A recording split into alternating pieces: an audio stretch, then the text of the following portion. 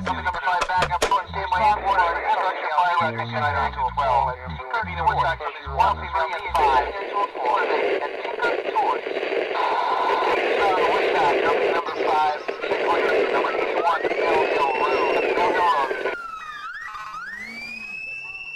serial killers documentary का ये episode एक ऐसे इंडियन सीरियल किलर के बारे में है, जो कत्ल तो करता था, मगर डंके की चोट पर। वो अपने हर शिकार को मुख्तलिफ़ टुकड़ों में बांट देता था और इनके कई हिस्से बनाता था और इनमें से कई हिस्से एक धमकी बड़े खत के साथ पुलिस थाने के गेट के सामने छोड़ जाता था और पुलिस एक मामूल के मुताबिक इस इंसान के जिस्म के टुकड़े के साथ इस धमकी बड़े नोट को उठा लेती और इन्हीं के ज़रिए इस सीरियल किलर किलर तक पहुँचने की कोशिश करती, मगर ये सीरियल किलर ऐसा होने से पहले ही एक और शिकार के बॉडी पार्ट्स को एक और नोट के साथ पुलिस तक पहुँचा देता और एक बार फिर पुलिस को चैलेंज करता कि अगर आप मुझे पकड़ सके हो तो पकड़ लो, वरना हर दो हफ़्ते में आप लोग इसी तरह का एक तोहफा वसूल करते रहना। और कई दफ़ा ऐसा भी होता था, अगर इस एरिए की पुलिस की नज़र इनके बेजे या थाने के आसपास रखे गए पार्सल पर नज़र नहीं पड़ती तो ये किसी और पुलिस स्टेशन को फ़ोन कर देते और इन्हें कह देते थे कि इस पुलिस स्टेशन वालों से कहो, इनके थाने के पास मैंने इनके लिए जो पार्सल रखा है, इसे उठा ले। ये संकी सीरियल किलर अपने विक्टिम्स की बॉडी के हर पार्ट को अलग अलग जगहों पर पूरे शहर में बिखेर देता था, ताकि पुलिस इस विक्टिम को पहचान नहीं सके। क्योंकि ये सीरियल किलर अच्छी तरह जानता था कि जिस दिन इनके किसी भी शिकार की पहचान हुई तो उसी दिन पुलिस इन्हें गिरफ़्तार करेगी। जाएगी इस संख्य इंडियन सीरियल किलर का नाम है Chandrakant Jha. Serial killer Chandrakant west Delhi का रिहायशी है। इनकी दो शादियाँ हुई, मगर पहली बीवी ने इन्हें एक साल से भी कम अरसे में छोड़कर चली गई और इनसे तलाक ले लिया। चंद्रकांत ने पहली बीवी की तलाक के बाद इसने बहुत ही कम अरसे में दूसरी शादी कर ली और इसी दूसरी बेगम से इनकी पाँच बेटियाँ हैं। चंद्रकांत झा पेशे के एतबार से हतावार लगने वाली बाजारों में हाकर था। वो डेली वेजिस पे काम करने वाला एक मामूली सा मजदूर था, मगर ये मामूली सा मजदूर तिहार पुलिस के लिए किसी अंडरवर्ल्ड डाउन से कम साबित नहीं हो रहा था, क्योंकि वो अपने हर कत्ल के साथ इस विक्टम के कुछ बॉडी पार्ट्स को एक नोट के साथ तिहार जेल बेचता था। सीरियल किलर चंद्रकांत झा को पुलिस ने 1998 में एक शंकर नामी शख्स के कत्ल के जुर्म में गिरफ़्तार किया था, और ये सीरियल किलर 2002 तक तिहार जेल में कैद था, मगर नाकाफी सबूतों की बिना पर इसे पुलिस को रिहा करना पड़ा। जेल से रिहा होते ही सीरियल किलर चंद्रकांत झा ने शहर में खुले आम कत्लो गारा कर दी और पुलिस इसे पकड़ने के वास्ते सरतोड़ कोशिशों के बावजूद नाकाम हो रही थी। ये अपने शिकार के साथ पहले दोस्ती करता, इनका भरोसा जीता, फिर इन्हें कोई न कोई बहाना बनाकर कत्ल कर देता। सीरियल किलर चंद्रकांत हमेशा इन गरीब मजदूरों को अपना शिकार बनाता था जो दूसरे स्टेट से काम ढूँढने के लिए आते थे। ये सीरियल किलर पहले